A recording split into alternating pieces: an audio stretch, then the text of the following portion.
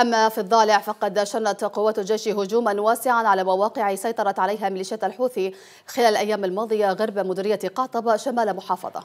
وفاد مصدر عسكري في الجيش ليمن شباب أن الهجوم الذي شنته قوات الجيش يهدف إلى استعادة مواقع جبل الشامي والقصبة وبيت الشوكي وعزاب وغرب قعطبة وأوضح المصدر أن قوات الجيش أحكمت السيطرة على جبل القصبة والمطل على قرية رمى فيما لا يزال التقدم مستمرا لاستعادة جبل الشامي وبيت الشوكي وعزاب.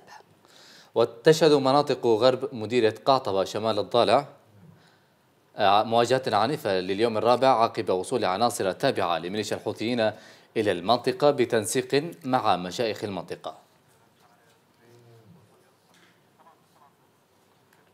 إذا وللوقوف على آخر التطورات الميدانية في جبهة الضالع ينضم معنا سيادة المقدم نصر الرزاقي ركن التوجيه المعنوي باللواء الرابع. احتياط.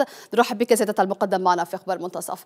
بداية سيادة المقدم نريد أن نعرف آخر التطورات في كثير من الجبهات في الضالع خصوصا في جبهات الشوكي وكذلك الشامي. كما ذكرنا في الخبر أن ما يزال التقدم مستمر لاستعادة هذه المناطق فبالتالي ما هو الجديد؟ هل تم استعادة هذه المناطق أم ماذا؟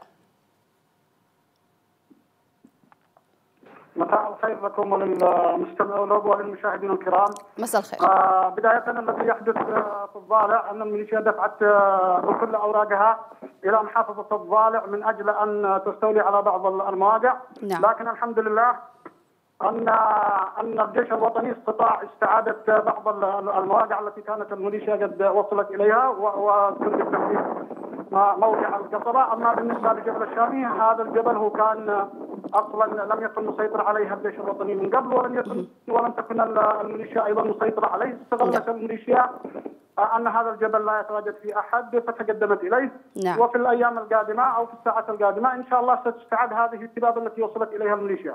نعم إذا جبل القصبة تم استعادته من قبل الجيش الوطني وكما تحدثت بالنسبة لجبل الشامي وبيت الشوكي يعني لم تفقده أو الجيش الوطني ليتم استعادته ولكن الآن المعارك ما تزال مستمرة هناك للتقدم حول هذه المناطق.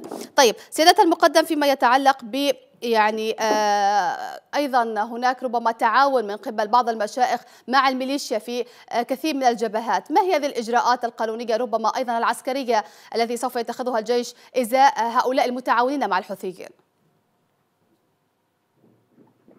في البداية نقول كل من يريد أن يتعاون مع الميليشيا نعم. الميليشيا تغدر بكل من يتعاون معها وهذا وهذه سياستها باستمرار ننصحهم الا ينجروا خلف الاغراءات أو التهديدات، الجيش الوطني سيحرر هذه المناطق وسيدخلها بإذن الله وفي الأخير لن ينتصر إلا إلا الجيش وتنتصر الشرعية، أما نعم. بالنسبة للتعاون كل من يتعاون معروف ومرصود وهذا سيؤثر عليه مستقبلا. نعم هل هناك كما يعني تحدثت المقدم يعني يتم تهديد هؤلاء الناس أو المشائخ للتعاون معهم؟ هذا أكيد إغراءات أو تهديد في نفس في نفس الوقت لكن نقول أن هناك أيضا رجال خيرون ورجال ووجاهات مجتمعية قادرة أن تقف أو أن تتمرد على على الميليشيا. نعم، طيب دعني أختم معك سياده المقدم بالنسبة لغرب مديرية قعطبه شمال الضالع، أيضا هناك يعني الاشتباكات على اشدها لليوم الرابع على التوالي، وكما ذكرنا أيضا في الخبر هناك تعزيزات وعناصر للميليشيا في هذه الجبهة، ماذا أيضا؟ ما هو الجديد هنا؟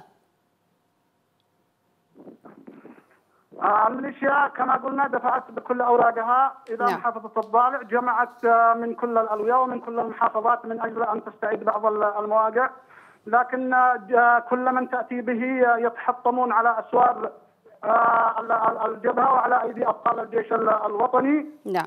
قتلاهم في هذه اليومين الماضية الماضيين أكثر من 200 قتيل نعم. ناهيكم عن عن الجرحى الميليشيا ليس عندها أي حسابات آه للانسان آه لا تراعي حقوق الإنسان لا تراعي آه الدم البشري تدفع بأطفال تدفع بصغار السن من أجل أن يلاقوا حتفهم في الجرحى.